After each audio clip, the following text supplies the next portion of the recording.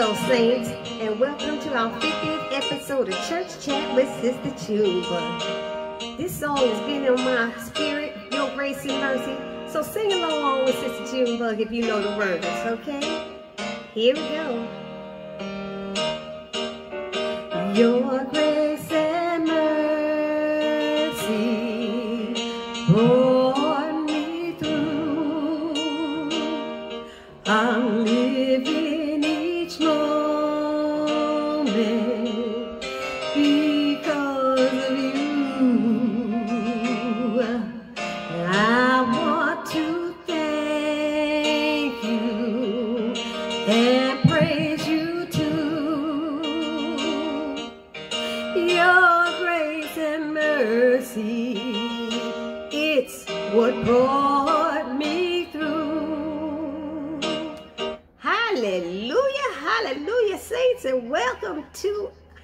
I said, 50th episode of Church Chat with Sister Junebug. I hope everybody out there is feeling blessed. So, today, my friend Ty and I, we went to three church services, but I, like I told y'all, I'm gonna start recapping only on two. I don't want my recaps to be too long, but I want y'all to get a blessing at the same time. You know what I mean? Anyway, so the first church we went to was Ebenezer Baptist Church in Atlanta, Georgia, where the pastor is the Reverend Dr. Raphael Warnock.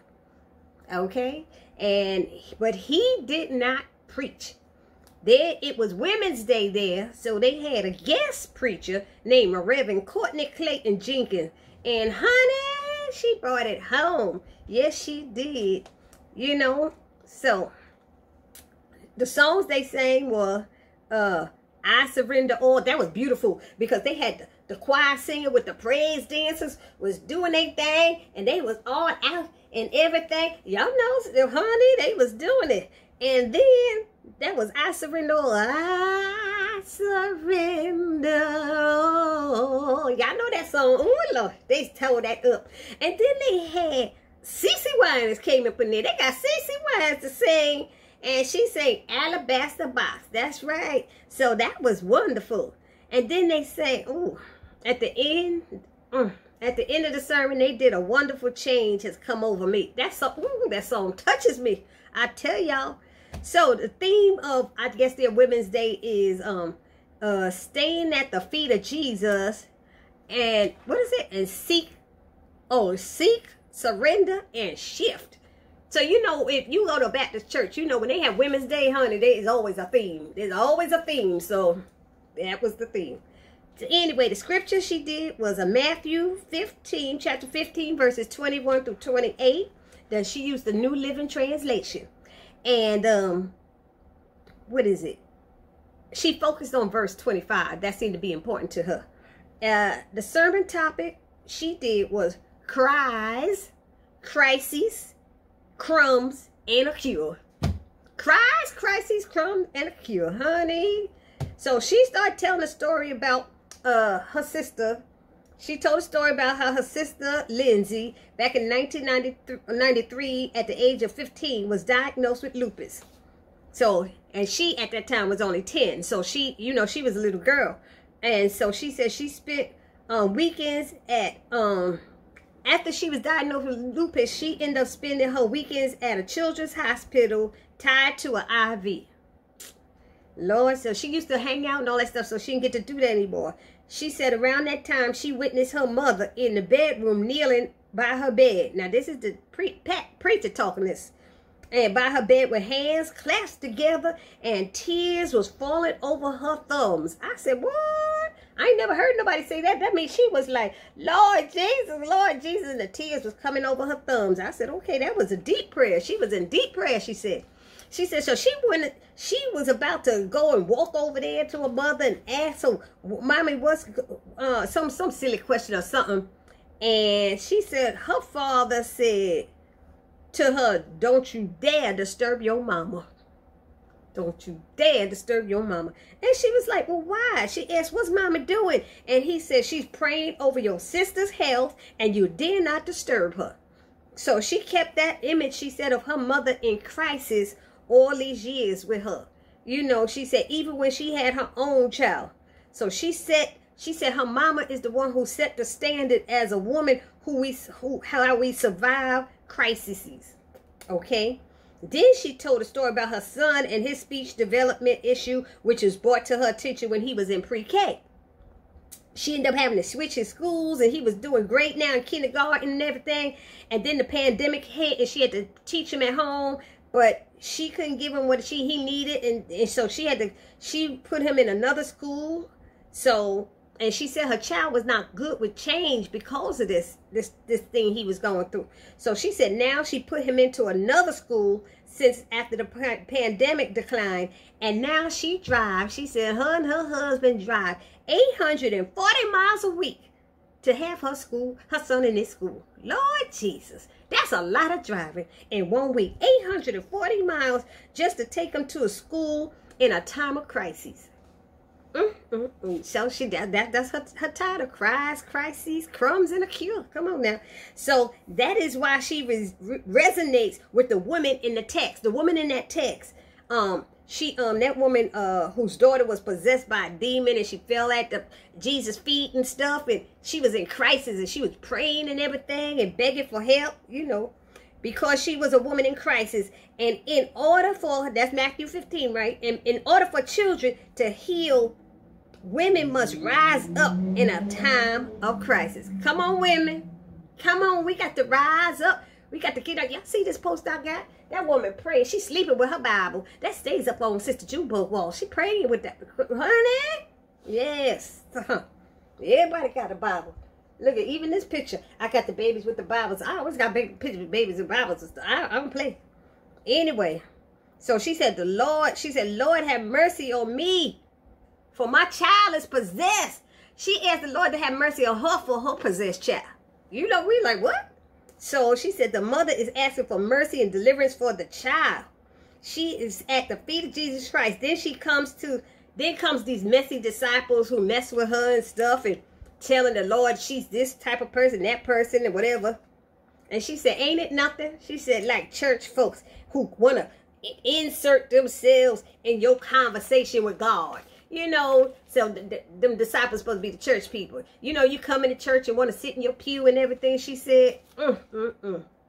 and people bother you. She said, um, it's nothing like here. Here's a woman who comes to church. She's saying this: you come to church in a time of crisis and want to sit on your pew quietly and seek the Lord in prayer. When another church member looks down the road and he, he and row at, you, at you, and has something messy to say, like, mm, she ain't nothing. What's she doing here? You know, you know that stuff they be doing and whatever. She said, but don't let those church folks hinder your prayer life with God. They acting like you're bothering them and you ain't bothering them. You minding your business. But they want to talk about you had a child out of wedlock. Or they want to talk about you got busted stealing. You know, or whatever it is you did. She, she. Girl, please, you know how they are. If you go to church, you know. She said, so you give, she said, don't don't let them but bother you. Don't let them get to you because you are giving your power away when you let someone stop you from coming to Jesus. Yes, sir. She said, uh, someone is sitting home being grateful right now. She said, I won't say it, but they sitting home grateful right now for this virtual church. Hello. You know why? Because they don't have to be worried about someone else's opinion about them making their way to Jesus. Come on now. Don't y'all know it? That's what people, a lot of people don't go to church because they say, you church people this, you church people that, you know? And then we give us a bad word. We're supposed to be welcoming people. That's what we're supposed to do. Anyway, so um, they don't have to worry about the judgment of church folks. Hello. Uh, too many of us know how to play church better than we know how to worship. Ooh, did she step on somebody's toe right there? You know how to go to church and act like you were saying stuff, but when it comes and you see somebody on the street need a handout or help, where you at? Where you at? Where's your compassion? Where's all that? Where's your grace and mercy? Where is it? Come on. She says, so her mother prayed for her sister with lupus for about three years. She said, from age 15 to 18. She said at her sister's last appointment before going away to college in Ohio, the doctor gave her all the protocols she was to follow for the treatment. there. Her sister told, looked at the doctor, told the doctor she's not doing it anymore. He's like, but uh, you know, we we don't. Uh, I know your mom's been praying, but uh, we haven't seen any change. You know, so y'all haven't seen no change. Y'all giving me these treatments and stuff, and she like, she said, well, and she said, I refuse to allow my childhood to continue to be robbed by further further with sickness. So her sister said, forget it. Not the mama. She never said how her mama felt about that, but I was like, all right now. She said, I will not spend my college years going to the hospital. Nothing has changed, and enough is enough. Mm, enough is enough. And she said, because I skipped through a lot of that story, but she said, till this day, her sister has never stepped foot into a hospital except to give birth to her child. Hallelujah. Her sister is 45 now, she said, I think. To this day, her sister is a walking miracle. She has not taken any medication for her lupus, and the doctors do not understand it. That's God. That's God, y'all. They don't understand it. She is now 45 years old. Right. She said, You see, my mother got a prayer life, and my sister got her blessing. And that's that chapter in there, that, that, that verse that she was talking about in Matthew. And then she said, one of the last things she said was when you strengthen your prayer life, blessings and healings come. When you strengthen your worship life, blessings and healings come. And a change in yourself goes to change in everybody connected to you. Hallelujah. That was great. So that's when the choir saying, a change, oh, a change. Oh, Lord, I can't even start singing that because, oh, what a wonderful change has come over me. Oh, Lord, I can't. They're going to make me cry. Let me go on to the next church. So the next church we visited, hallelujah, thank you, Jesus, was um Greater Allen AME Cathedral of Cathedral of New York in Jamaica, Queens, New York. And the pastor there was Reverend Elaine Flake. And you know, Reverend Elaine be preaching her behind her. And she was thanking God. She was saying how good it was to see people in the balcony. You know, people starting to come back. They just opened up one or two weeks ago, you know. So everybody's happening. Sister Junebug going to church. Yes, she is. I'm going to go to be in my church too as well. Honey, I'm going to check it out. I ain't trying to go to except every week, but I'm going to go. I'm going to go with you. I'm going. I'm going today. Today. Anyway, uh, what else? So, song they sang is Forever. Uh, that by J.J. Hairston, Hairston, and then He Can Do It by Norman Hutchins, and then they had a sax solo. It is well. He was good with that sax solo. And uh, what else? It is well and say yes. And then at the end, they did the song I just sang, Your Grace and Mercy. So the scripture was John chapter 8, verses 2 through 11 and she used the NIV Bible. And the sermon topic was Mercy Matters. Hallelujah. So one of her daily prayers is, Lord, have mercy. You know we all say that one, Lord, have mercy. Oh, Lord, have mercy. I say that a lot. Lord, have mercy. And she said, um, because she says mercy suits her case, and she knows those words get God's attention. When she asks for mercy, she is confessing there is some work that needs to be done in her and for her. She says, she says, Lord have mercy when she sees unfair sentences on TV. And and when all of these voter suppression attempts, you know, she's like, Lord have mercy when she see that too. And Lord have mercy when she see mean spiritness, spiritness and deception so she went on naming a lot of things when she's like, Lord have mercy, because you know a lot of stuff be going on. Anyway, so what else? She said, um, uh, spirit and deception. She doesn't know how to fix these things, but she knows the Lord does. That's why you call on him, ain't it? That's why you call on him. And so Lord have mercy can be translated to Lord fix it or Lord fix me. You know, mercy is the result of God's love for us. We should acknowledge the undeserved kindness of others. You should have been fine. You know when people are kind to you and do things for you and you think like you just deserve it, but no, that was God's mercy, honey. That was God's mercy. She said, you should have been fired, but the boss gave you another chance, you know? Or you deserve that speeding ticket, but the officer let you go with a warning. Mm. You could not pay for that meal, but you ate anyway. You know, so those are kindness, that mercy, that's things that was bestowed upon you. So we have all experienced mercy in our lives. We can never be too arrogant. Come on now. Talk to those people to or feel so entitled, okay, that you cannot stop and say, thank you for the mercies you have experienced from others. I know I'm always thanking people. That's it. I thank them. Uh, what is it? I'm missing something. I got to start here. Now the church, we have to, she said, now church, we have to be, um, we have to be those who experience mercy, but we also have to be those who show mercy. Come on now. Especially when you want to grow spiritually. How you want to grow when you don't give no mercy to nobody but you expect mercy? Don't get little sister Junebug neck going. Come on now. Don't get me started on you. She said, we pray to God or others to show us mercy, but we are not always willing to show the mercy you want for others. Come on. You better preach, Reverend Lane.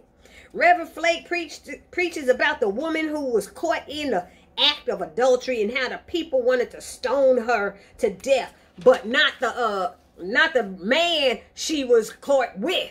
You know, you know what I mean? It takes two to tangle now. It takes two, she said. Say it takes two.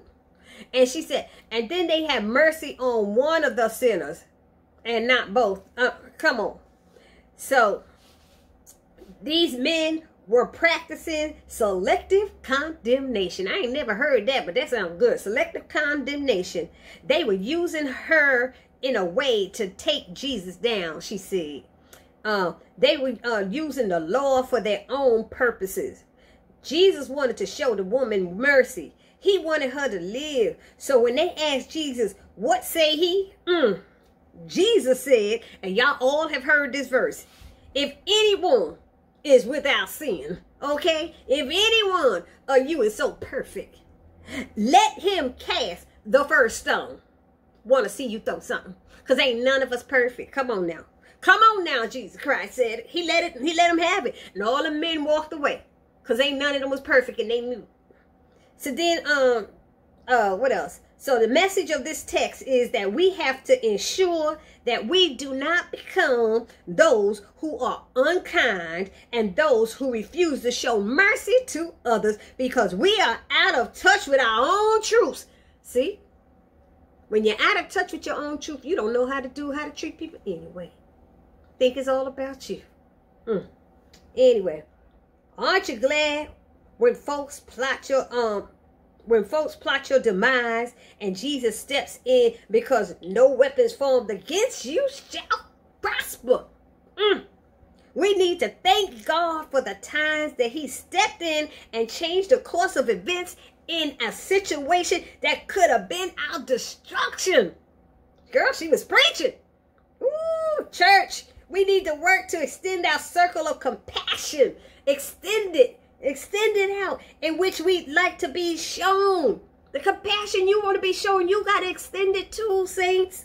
Come on. She said, go to Luke 6 about and read about showing mercy. And then she said, God's mercy has mattered when I needed it the most. God has been good to me. Lord, have mercy. Fix me, Lord, in my broken places. If you see anything in me that shouldn't, she was asking everybody to repeat this. I'm sorry. If you see anything in me that should shouldn't be. Take it out, Lord. Take it out. Change my thoughts. Change my attitude. Because I need your mercy, Lord. Mm, mm, mm. And that's when they sing Your Grace and Mercy. And that song was in my spirit. So, hallelujah, saints. I hope you enjoyed this episode of Church Chat with Sister Junebug. And if you have not subscribed to my channel as of yet, please come on and subscribe now. Subscribe to Sister Junebug's channel and help her channel grow and help her spread the word. Share, like, comment, and subscribe. Like, comment, share, and subscribe to Sister Junebug's channel. and help us spread the word. God bless.